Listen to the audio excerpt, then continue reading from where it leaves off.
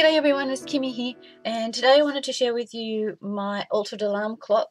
It's only, um, it's quite little. Um, it's actually a design team project for Mad About Scrapping and again I've used more of the 8x8 um, botanical tea um, pad from Graphic 45.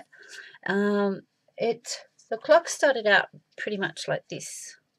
Um, this is one that I received in a swap from Jeanette over at Scrap and Happy uh, sometime last year, and I already had one in my stash. So, but it, yeah, it was just loose. So, this is what um, mine ended up like. um, I painted the whole thing with quite a few coats of gesso, and I've layered the paper on um, on the sides. So, and I've distressed the edges and I have just used some of the Tim Holtz game spinners for hands because when I pulled it apart the hands were pretty flimsy so I sort of thought I'll just use the game spinners and put them in with an, um, a little pink brad. Um, and I've just glued some cheesecloth down the side and lots of paper flowers from Mad About Scrapping Store.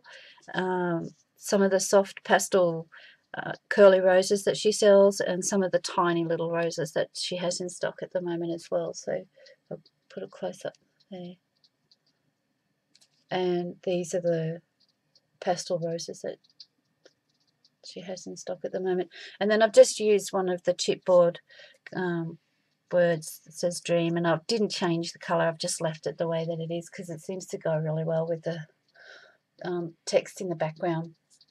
So that's my very first um, altered alarm clock. It's really shabby.